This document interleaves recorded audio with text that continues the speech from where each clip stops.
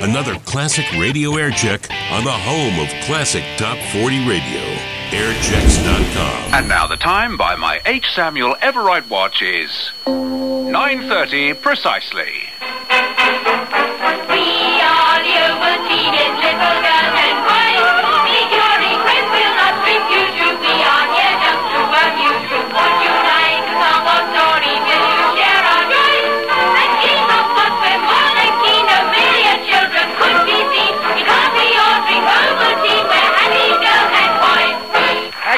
Much, and good evening, everyone. Woodbine Quiz Time comes to you tonight from the Ealing Town Hall. So now just sit back in your chairs and relax, because...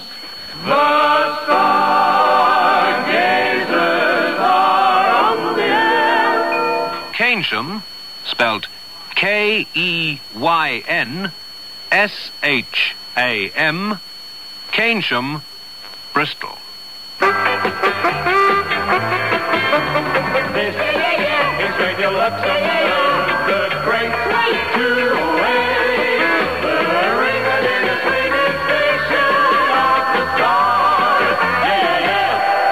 Radio Luxembourg's rise to stardom is a story with all the ingredients of a bestseller. Intrigue, entertainment, and more than a dash of glamour. When it started in the 1930s and later in the 40s and 50s, it became such an important part of the broadcasting fabric that millions preferred its laid-back style to the more formal tones of John Reith's BBC. In fact, it was following the pattern of the growing number of English language commercial radio stations on the continent. Luxembourg was a late starter, but it had the most powerful transmitter of them all. Owned by a French company, it promised international broadcasts which would not favour any one nation. The English service was handled by an agency, Radio Publicity of London. They appointed 23-year-old Stephen Williams, who'd been directing English programmes at Radio Paris, to be principal announcer. He remembers arriving in December 1933 with several hundred records and a couple of hampers of musical arrangements. we had a meeting with everybody likely to be interested, and it was decided that the various nations round and about should be given days of influence. For instance, the Germans were Thursdays, the French were Saturdays, and the English were Sundays. We managed to collar the Sunday because we knew that our rivals at the BBC were doing the dullest of their programs of the whole week on Sundays. They liked good, very good music, very nice music, very interesting music, but not of general popular appeal. And that was how we started. The country, no larger than Greater London, had been allocated a low-power, medium-wave frequency for internal needs. The radio station refused to accept it and chose long-wave instead, because to make money from foreign language commercials, the signal needed to cover great distances. The British government called the broadcasts objectionable, and through the Foreign Office condemned the violation of international agreements on radio. The BBC embarked on a lengthy battle to scupper the station, which it described as a scandal, insolent, and a pirate. Officially, the BBC was opposed to Radio Luxembourg. It was opposed to all commercial broadcasting. First of all, I think they thought it was very vulgar. It wasn't the sort of thing that gentlemen should be engaged in. And after all, Sir John Reith did say that he'd like to gather around him a company of gentlemen to run this new idea of wireless broadcasting. The Newspaper Proprietors Association were as opposed to Radio Luxembourg as the BBC. They were appalled to discover that most of the sponsors were also advertisers in the big national dailies. Worried about the potential loss of revenue, they refused to publish programme details in their papers, a situation that lasted until the 1950s. However, they were carried in the Radio Pictorial magazine, whose editor wrote, The BBC give their best, but that need not deafen us to the fact that there are additional programmes of an alternative character. Well, it's just two minutes after half past eleven, and yes, you guessed it first time. That means Sunday night request time at Luxembourg. Let's meet at the organ. A program in which Sidney Torch and his friends entertain you at the organ. Cadbury's of Bournville send you this musical variety to announce their new Roses Chocolates assortment. The makers of Bile Beans present Rhyme with Reason, featuring the three Heron sisters, the two Black Notes, and Marius B. Winter's Seven Swingers. Ladies and gentlemen, Rhyme with Reason. By the end of 1934, sponsored programs in English were on the air daily, from noon to midnight on Sundays and for shorter periods during the week. But no one really knew the size of the audience, as Stephen Williams admits. We had a London office who got a certain number of letters in, and quite a number of letters came straight through to Luxembourg, usually with the wrong postage on, because people didn't realize that Luxembourg talking English and sounding so English was a foreign station, and therefore required, in those days, a two-penny halfpenny stamp. Most of our letters arrived with a one-penny halfpenny stamp on them, so we had quite a lot of excess postage to pay, but we had no idea at all, as far as audience reactions concerned, of how many people were listening. Of course, the advertisers kept tabs on it because they knew how their sales were going. Stay as sweet as you are. Don't let us so rearrange you. Ladies and gentlemen, this is John Wood speaking. And the serenading voice you have just heard was Jack O'Day, the Oxidol minstrel, sent to you by the makers of Oxidol, the marvelous new washing discovery that guarantees better washing and gives 23% more suds for your money. And now let's listen to Jack O'Day and the Oxidol Orchestra under the direction of Herbert Romaine, playing and singing I've Got an Invitation to a Dance, March Winds and April Showers, and then Be Careful Young Lady. The beginning, the sponsors were allowed to create their own programs, although there were strict rules on the length of the sales messages. The football pools promoters and soap companies were the financial driving force.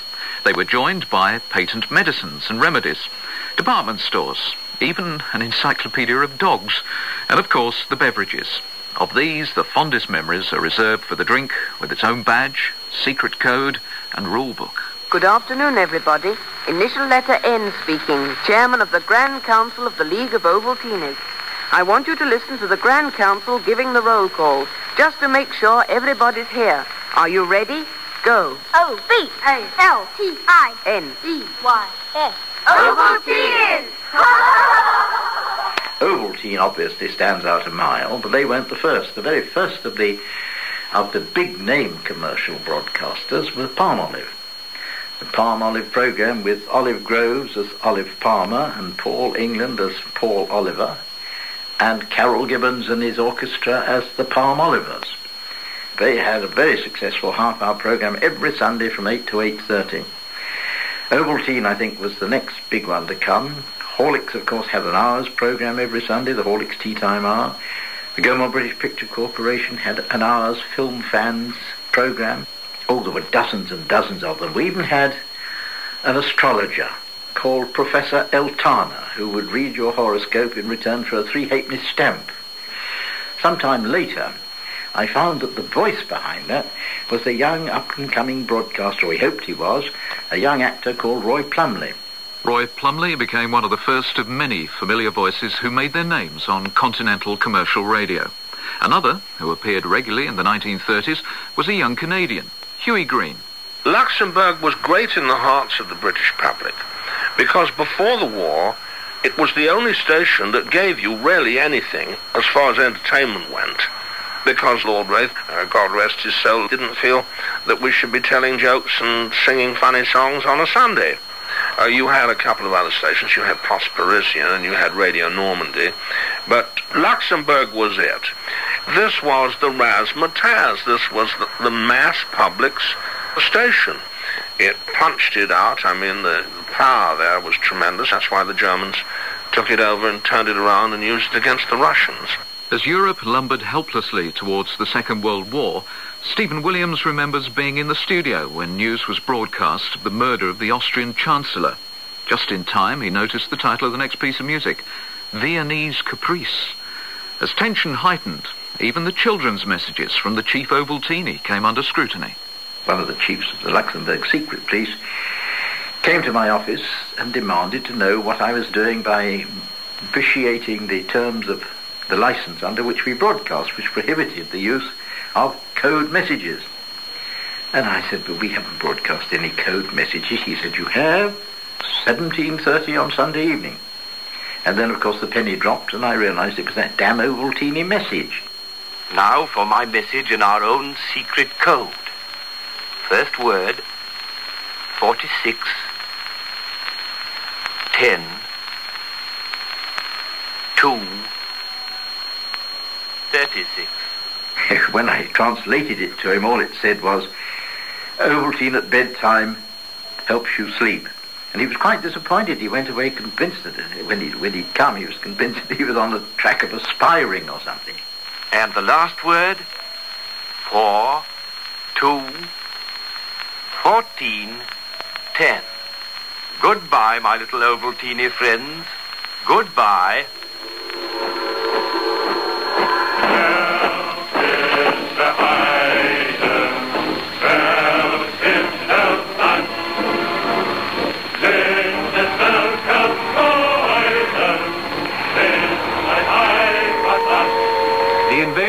Duchy of Luxembourg was reported this morning by Mr. John Cudahy, the United States Minister to Belgium, in a message from Brussels to Washington. The war changed the sound of European radio. The continental commercial stations gradually went off the air as the German invasion spread. At home, the BBC softened its attitude and employed several of the presenters who'd found themselves out of a job, including Stephen Williams. Luxembourg, however, continued to broadcast, but the sound changed from entertainment to Nazi propaganda. Germany calling, Germany calling, Germany calling. Here are the Reichssender Hamburg. The mocking voice of William Joyce, who became better known as Lord Haw Haw because of his wild and fabricated news stories. The British Ministry of Misinformation has been conducting a systematic campaign of frightening British women and girls about the danger of being injured by splinters from German bombs. While the Nazi broadcasts continued, the British government was hatching its own plans for Luxembourg. It was determined that uncontrolled commercial broadcasts to Britain should not be allowed to resume. But it also had a secret scheme to use the transmitter for the BBC's Eastern Europe services once the war was over. By September 1944, events began to move quickly.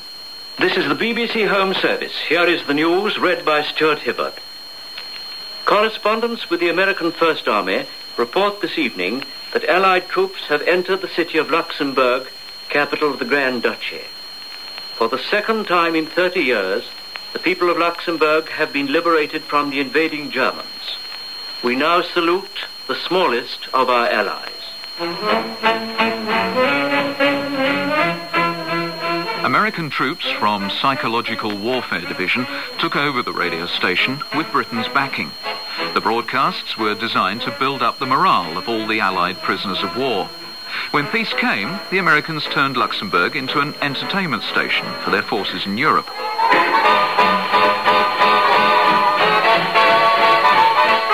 The Americans were impressed and opened negotiations with the Luxembourg administration for the continued use of the station as the voice of America in Europe.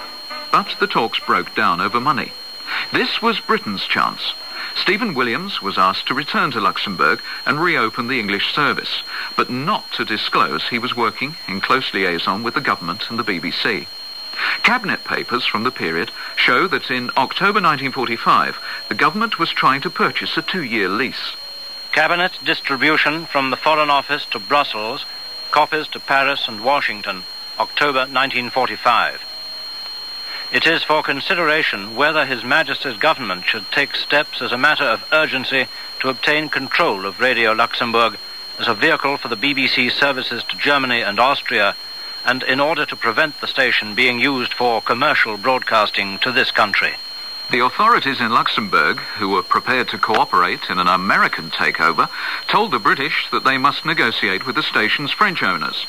The talks lasted a year, but fell through when it emerged that the French government was also trying to conduct a private deal. On the 12th of September 1946, Radio Luxembourg announced that English-sponsored programs would begin again at the end of the year. Can you imagine going out to Luxembourg, just two or three of us, having no audience really to speak of, having to get them all back, to find them all, because after all, they'd lost the habit. Geoffrey Everett, who worked for Luxembourg for almost 25 years, starting as an amateur football commentator and ending up as general manager. There were many things in those early days after the war that were very confused. For instance, when we first started earning money from sponsorship, the British government, the Treasury, would not allow us to take that money back to Luxembourg. I remember that Mr. Felton, who was then chief engineer and now is, I think, president, wanted to get Marconi to build a transmitter here and take it to Luxembourg and build. They wouldn't even let us spend the money in England. And it went on for years, and there was a natural thing, you know, it's foreign. But the audiences returned, lured initially by request shows, and in 1948 the first chart countdown on British radio. The top 20 made the names of its first presenters, Teddy Johnson and Pete Murray, and listening at 11 o'clock on a Sunday night snowballed into a national institution. For many, many years, the top 20 program on, on Radio Luxembourg uh, was the only one. And of course, it wasn't based on the sales of records in those days, it was based on the sales of sheet music. And it had an enormous listening figure. If I tell you that it had something like 10% of the listening audience, at that time of night, between 11 and 12, that was unbelievable. Really was.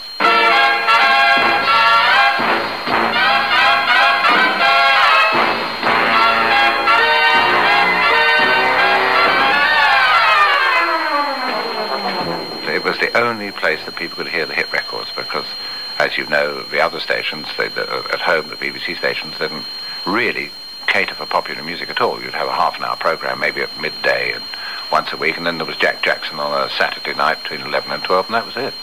As listening figures overtook the pre-war levels, sponsors again queued for airtime.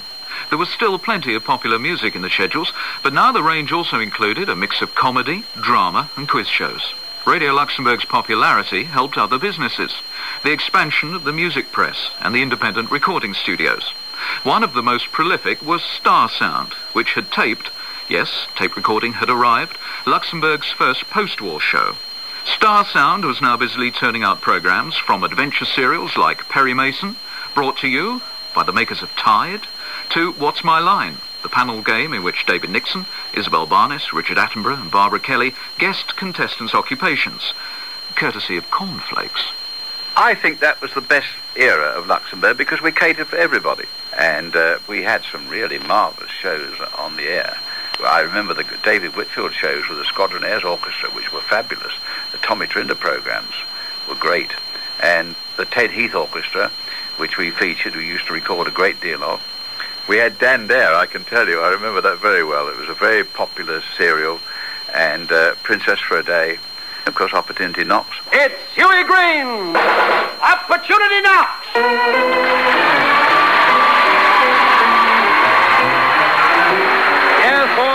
For the makers of Beecham's Pills and Phensic Tablets invite you to listen to the All Winners program of Opportunity Knocks with Jack Dove and his quintet and the talents and voices you, the listeners, have discovered.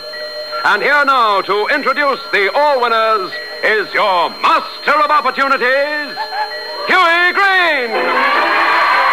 We went to Luxembourg in 1950, and we went there and stayed there, I think, for the best part of six to seven years, uh, in which times out of the show came The Bachelors, the late David Whitfield, and a number of other people who went on to fame and fortune, Joe Henderson.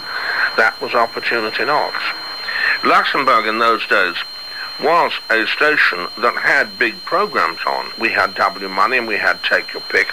It was a middle of the road mass entertainment program.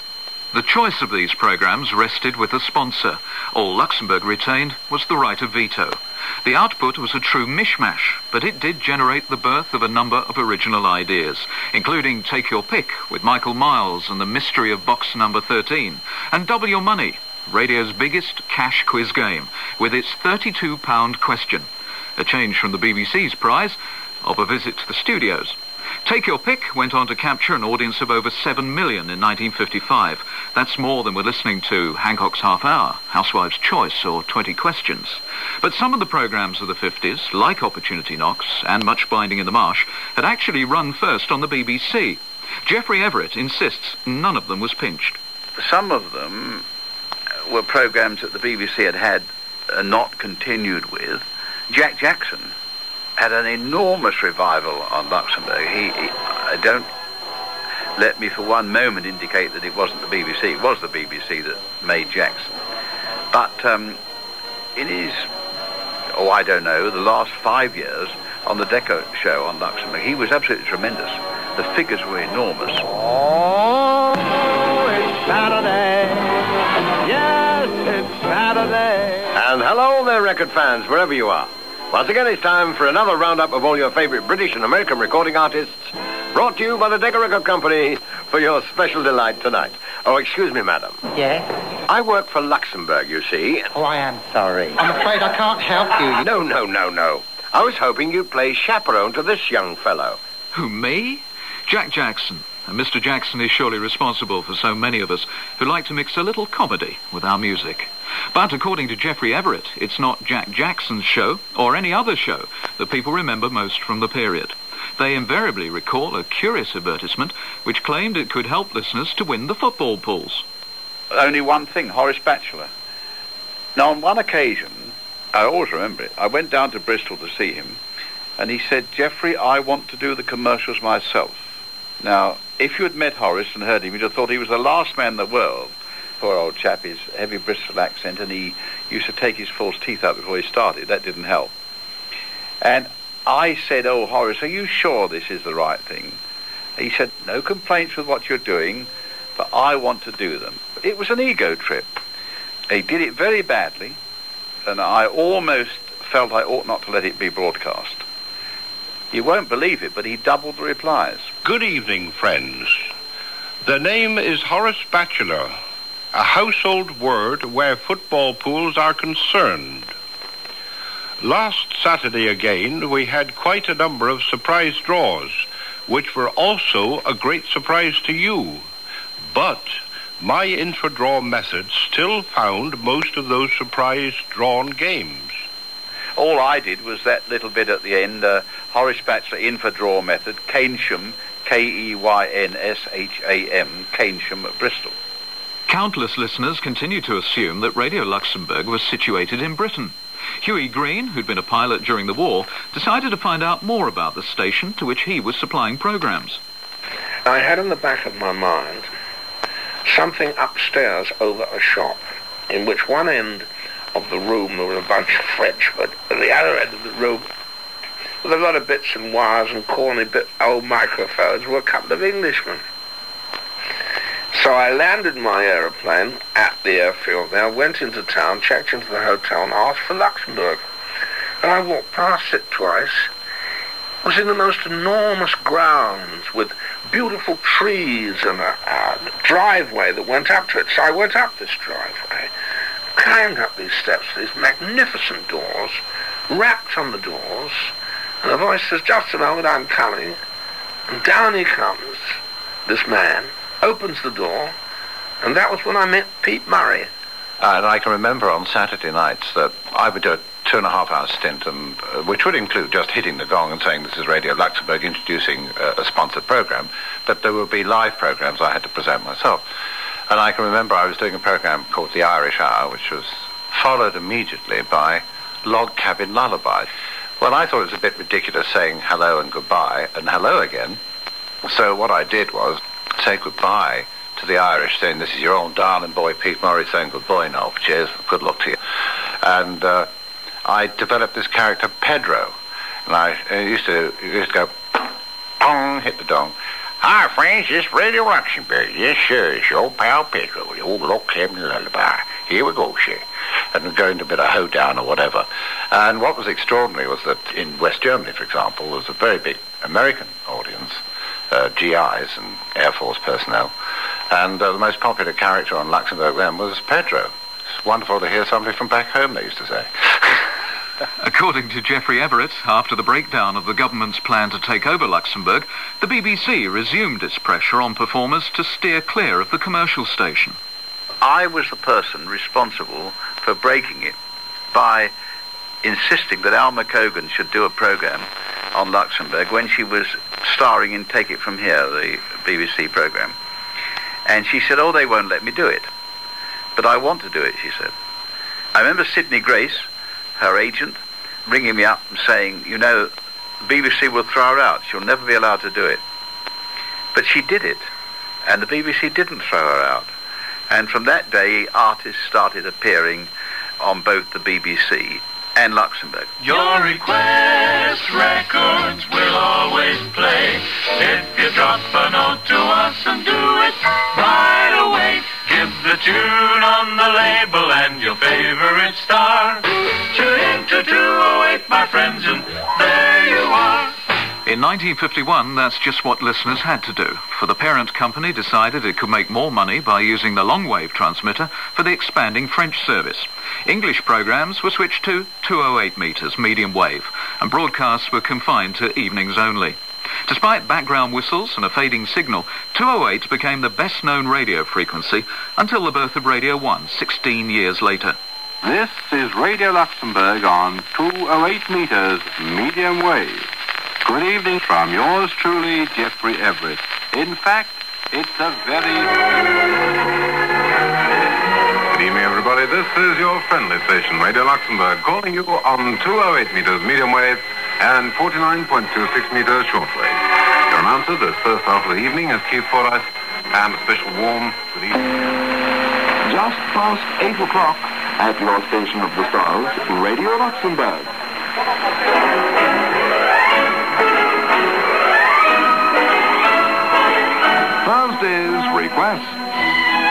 Have always been problems over the quality of Luxembourg's sound because of the distance it has to travel. In 1937, the BBC's Deputy Director General had described the difference between the two stations as between an early gramophone and the latest HMV 100 Guinea Wonder. For all that's worthwhile, your radio dial is on Radio Luxembourg. The radio station issued a triumphal press release in 1957, proclaiming that the competition from television was not affecting the audiences, which was true. However, commercial TV was sapping 208's advertisers and even some of its programs. Geoffrey Everett. In the period, I would think, from about 1949 to 1960, there was a tremendous amount of sponsorship. And then things got difficult. We were in pretty dire straits financially, not the parent company. Parent company was always and has been and is very financially sound. The only way I could see that we would make money and encourage Luxembourg parent company to keep us on the air was to accept sponsored programs from record companies. I thought it was wrong, but we were in a pretty bad way. Capitol was the first one, and then afterwards, of course, um, well, Decca and EMI, well, everyone. Well, what do you know? It's the Capitol Show!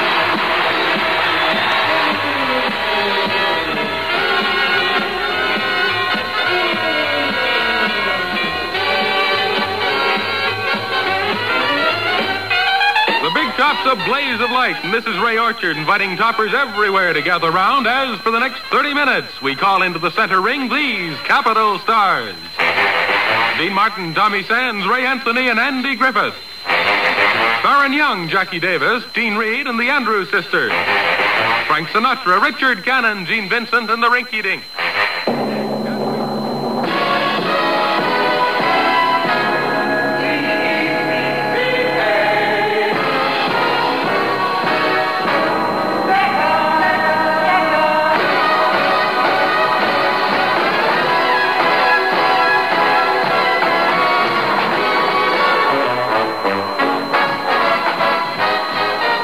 Warner Brothers label, yet again from the Everly Brothers, That'll Be the Day. And for your pop pickers, that's the record Night Tonight. So remember, it's tomorrow night at 9. All right? Right. And that means good night. The record companies took over from the soap powder companies. And I really think that's when the deterioration of, of Luxembourg actually started. Because prior to that, if I presented a program, or Peter Madden, or Geoffrey Everett, we had our own personalities and the records to go with them. We played what we liked, and so every program was different. And I think it was the first format program. I think it lost an awful lot that way. Perhaps lost is rather harsh, but Luxembourg certainly had to find a new market. The record companies were ideal because this was the swinging 60s when adolescents were recast into teenagers, a brand new consumer group with money to spend. They were egged on by a whole new breed of advertisers. Wake up in the morning, there's a snap around the place. Wake up in the morning, there's a crackle in your face. wake up in the morning, there's a pop that really says, Rice Krispies to you, and you, and you.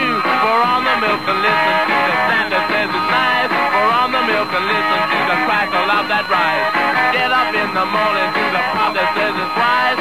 Hear them talking crisp, Rice Krispies. Luxembourg set its sights on youth and non-stop music, and in doing so heralded a period, now firmly part of folklore, where millions of teenagers listened secretly on transistors under the bedclothes at night. One of the staff DJs at the time was Chris Denning. Many of the programs were sponsored by record companies, and of course, as anyone of that age group will remember, only about the first minute and a half of the record was played, which was very annoying to the listener. But the record company research said that they still would buy the record even if they only heard a snippet and were annoyed. They didn't mind them being annoyed as long as they bought the records. And of course, they had no alternative because Radio Luxembourg, apart from I think two programs a week on BBC. There was David Jacobs and Alan Freeman. There was no other place where you could hear pop music on the BBC or in Britain. So therefore, Luxembourg had it made. But once the Pirates were there and they were playing records in full, the writing was on the wall. It had to change. When the Pirates started, I was very worried. It was the first time, I think, that I woke up to the fact that we weren't catering very well for young people. And uh, I'm going to be honest with you, I think we copied their format a little bit. Perhaps by doing it, we lost a lot of the old faithful listener. It became a different type of audience.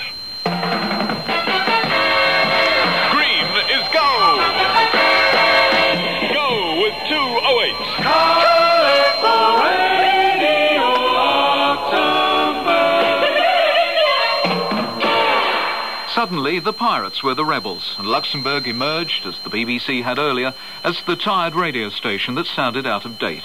The programme ideas were no longer fresh, as Chris Denning recalls. When I joined Radio Luxembourg, the Beatles had been around about a year, and they really were at the peak of their prestige and uh, popularity. And it was obvious that Luxembourg needed a Beatles show, so I suggested to Geoffrey Everett and Barry Aldis that we should have one, and probably simply because I was the one who suggested that I got to do it. And as I recall, it was on a couple of times a week, and I would sit down with them in a hotel room or backstage and record chat with them, which I would then edit together, and I'd get them to say things like, what shall we now play, or what are we going to do next? And so when it came over, it actually sounded as though we were all sitting perhaps in a dressing room, but every now and then they'd pick up their instruments and play their latest number, which amazingly they played with absolute studio quality, because it was the record, really. Can we have a request, Chris? Uh, yeah, Paul, yeah, please. Okay, this one is for Bernard Levin, Wolf Mankowitz, and good old Don Zek. And the song, uh, I'd like you to sort of play for them, because I think it has a sort of special meaning. Do you want to know a secret? How about you having one, John, then? Okay, how about John have him on? I'd like to play one for Mr. H. Wilson of Hampstead Garden Suburb. And it's called Thank You Girl. Yes, I'd like you to play one for Don Short of the Daily Mirror and Judith Simons of the um, Express, and it's called I'll Follow the Sun. In 1968, Radio Luxembourg discarded its famous sponsored shows and followed the BBC's lead on the new Radio 1 by introducing all live programming along with spot ads, the format that still exists today.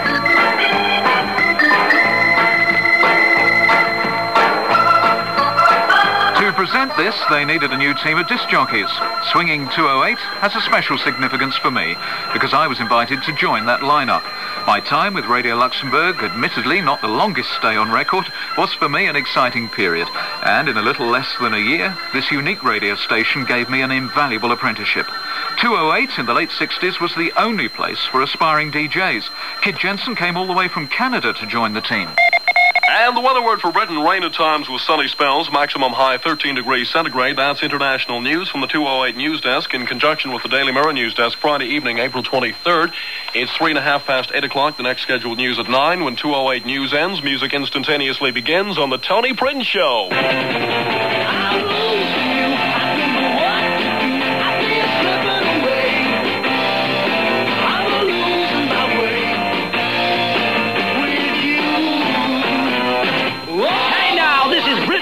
Britain's longest serving, solid sounding, super duper smile station. The station that spots a successful sound soonest. And this is your royal ruler. I wouldn't fool you. Nothing could be cooler. This is Tony Prince. Hi, kids.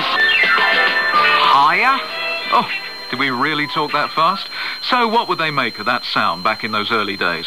Pioneer Stephen Williams was never impressed. They talked such absolute rubbish. It was completely inconsequential. It was just chatter. And as I said to a number of them, if I'd still been the boss there, I wouldn't have let them in under any circumstances whatever. Because it wasn't the sort of entertainment. I mean, I couldn't foresee, I certainly never dreamed that they'd become as popular as they are. And what really shook me was I met somebody who was connected with Luxembourg, and I said, what on earth are you doing with all these chaps talking absolute nonsense and rubbish?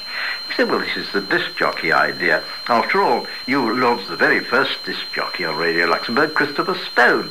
And I said, good God, Christopher Stone, he'd die if you called him a disc jockey. For another view, I turn to Jimmy Savile. First of all, it's got considerably more opposition. You've got some great independent stations in Britain, and Radio 1, of course, is a giant. Of that, there's no doubt. That doesn't mean to say that Luxembourg, because it comes from far away, should be any less great than it was. It's just going through the doldrums at the moment. I would say that it's a bit on the dead side at the moment, but that's because possibly the people concerned with it are not the pirates that they used to be. We all felt we were pirates in the old days. We were piratical. And now they're all business people and nice people. God bless them. Uh, lovely. But it hasn't got the flavour it had because it hasn't got the pirates it had. And I was the worst. I was Blackbeard. True, Luxembourg may no longer be Britain's only independent commercial music station, but no one can take away the contribution it's made to popular music.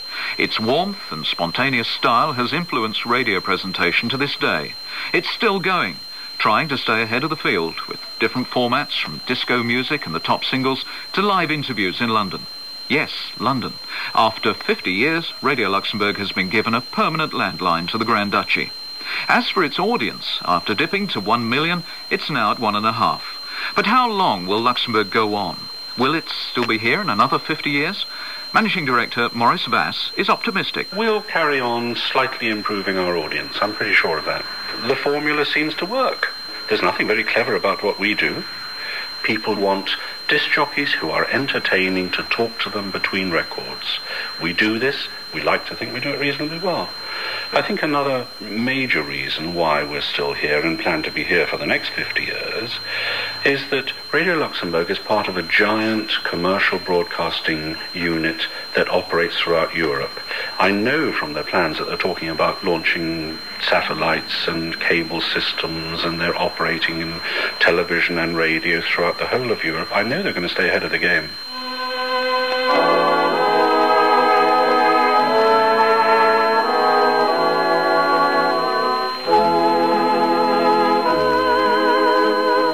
It was the first anti-establishment radio station.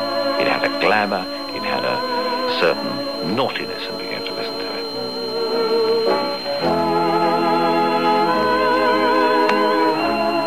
I think that Luxembourg's success is amazing in view of the fact that they have never been able to have an audience just switch on and get perfect reception. And I tell you this, I think Luxembourg will go on forever because I think it's become something that people say, oh, Radio Luxembourg, yes. Oh, I remember this, I remember that. Everyone's got a memory. And that's as good a place as any to end, for the time being, the longest running story in commercial radio. As they used to say at Close Down, it's time to say goodnight. And of course, time to wish you all a very happy Christmas.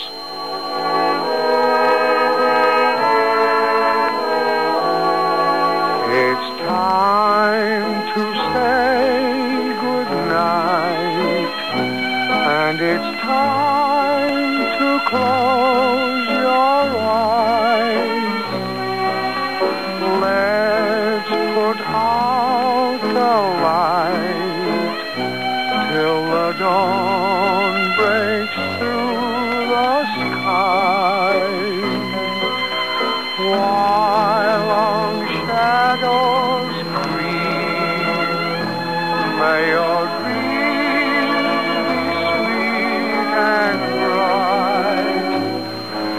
a moment you'll be sound.